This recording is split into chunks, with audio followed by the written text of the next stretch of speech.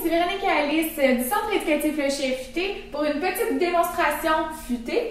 Donc aujourd'hui, ce qu'on va voir, euh, c'est la réactivité canine, un petit exercice de tension sur la laisse pour pouvoir essayer de garder le focus de votre chien sur vous au cours de la promenade. Si vous croisez par exemple un écureuil, un chien ou un étranger qui fait réagir votre chien. Donc comment faire? Ici, euh, pour ma part, je dois inciter Alice à aller plus loin parce qu'elle elle marche déjà au pied, elle est déjà habituée à l'exercice. Donc, ce que je vais faire, c'est que je vais l'inciter avec un jouet ou de la nourriture en avançant à aller plus loin et mettre une tension sur ma laisse. Donc, Alice, vas-y, vas-y, vas-y. Donc, une tension, yes! Elle est revenue vers moi, j'ai marqué sur mon cou, je récompense et je la laisse même aller chercher les récompenses par la suite. On va commencer.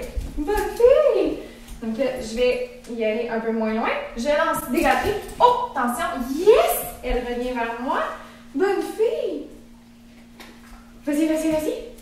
Petite tension. Yes! Elle est revenue vers moi. Elle me regarde. Donc, la laisse est détendue en ce cas-ci. Allez.